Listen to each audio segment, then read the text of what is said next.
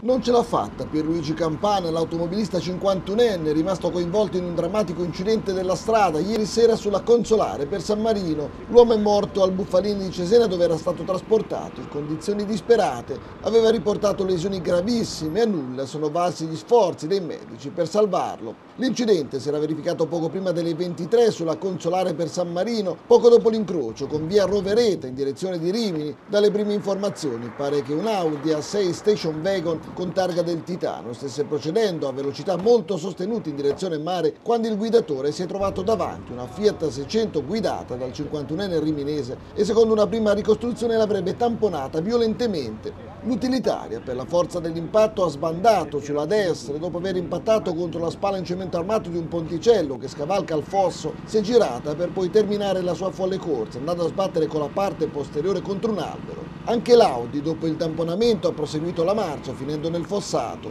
Entrambi i guidatori rimasti incastrati. Tra le lamiere sono stati soccorsi da due squadre di vigili del fuoco con il personale del 115 che dopo aver estratto i feriti dagli abitacoli le aveva affidate alle cure dei sanitari del 118 arrivati sulla consolare con due ambulanze, due auto medicalizzate. Il più grave apparsi immediatamente il 51enne che dopo essere stato stabilizzato sul posto era stato trasportato al Bufalini Cesena in condizioni gravissime. Ferite di media gravità invece invece per il guidatore dell'Audi, trasportato all'infermi di Rimini, sul posto una pattuglia della polizia stradale che per effettuare i rilievi di rito e le operazioni di soccorso ha chiuso temporaneamente una delle due carreggiate della consolare.